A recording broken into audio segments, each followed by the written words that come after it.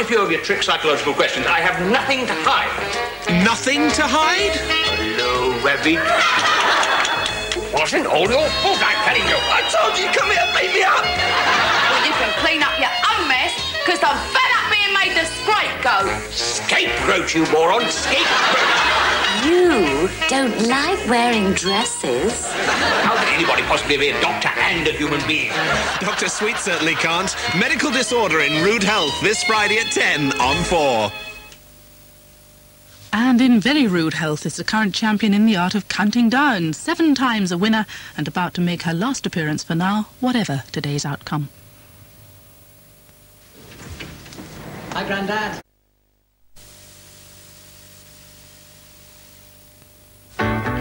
Sometimes life, well, sometimes life. Sometimes life really bites the big one. Yes, a pig. A pig? It's a pig. Told you. Especially when you've lost your glasses. What are you doing in the bathroom? This is the kitchen. I'm poaching an egg in the toilet. And we all know what goes well with eggs, don't we? You get in the kitchen and eat your slop before I spank that little pink fanny. All right, I'm going, I'm going. Confused? So are they. Porky Problems for the Golden Girls, Friday at 9 on 4. This is Channel 4, and this is Countdown.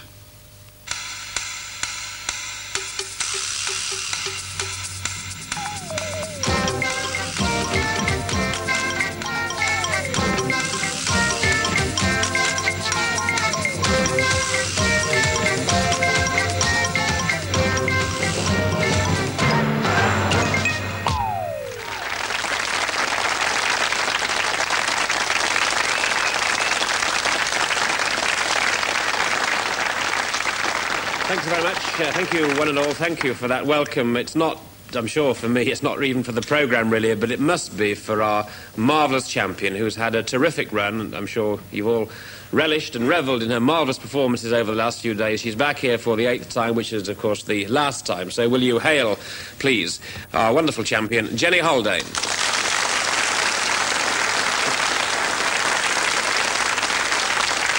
It is, Jenny. We've had uh, one or two long-running champions, but uh, the consistency of your scores is uh, marvellous. Just to remind you, her highest was 70 on her very first day, and then she's always been in the 50s, apart from one day when she got a 45, and uh, yesterday when she got a 62. So it's marvellous, and we wish you all the very best of luck, of course, on your Thank you. last occasion for the time being with us. It is great to have such a, a worthy contestant. And if anything, apart from the first day when you got 70, you've actually got better, haven't you? As uh, your, your cunningness with the numbers game and your quickness with the conundrum have been fantastic.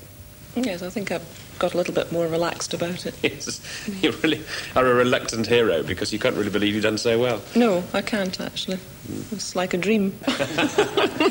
Okay, well, just hold the dream for uh, the next uh, 25 minutes and we'll see what happens. And now, let us welcome a rather daunting task for Mr. Roger Wales. Here he is.